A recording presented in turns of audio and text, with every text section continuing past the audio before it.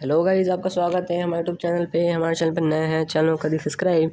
Video पसंद आए तो वीडियो का दिल लाइक तो हम सीखने वाले हैं। How to fix Bluetooth problem आप ब्लूटूथ प्रॉब्लम को कैसे फिक्स कर सकते हो? गाइस, अगर आपको अपने फ़ोन में ब्लूटूथ प्रॉब्लम फिक्स करनी नहीं आती है तो वीडियो देख के ऐसा सीख सकते हो कि ब्लूटूथ प्रॉब्लम कैसे फिक्स करते हैं।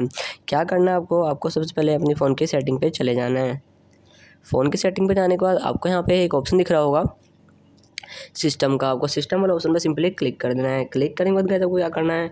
आपको एक ऑप्शन दिखेगा रीसेट ऑप्शन रीसेट ऑप्शन पर क्लिक करेंगे और आपको यहाँ पे पहला ऑप्शन दिखेगा reset WiFi mobile and Bluetooth का। आप सिंपली इस ऑप्शन पर क्लिक कर देंगे। क्लिक करने के बाद रीसेट सेटिंग पर क्लिक करना है देन फिर से आपको इसी पर क्लिक करना है। यहाँ से क्या होगा? आपकी जो सेटिंग रीसेट हो जाएगी और आपकी जो ब्लूटूथ प्रॉब्लम है, वो भी यहाँ से आसानी से फिक्स हो जाएगी। तो ऐसे अपने फ़ोन में आप ब्लूटूथ प्रॉब्लम को फिक्स कर सकते हो।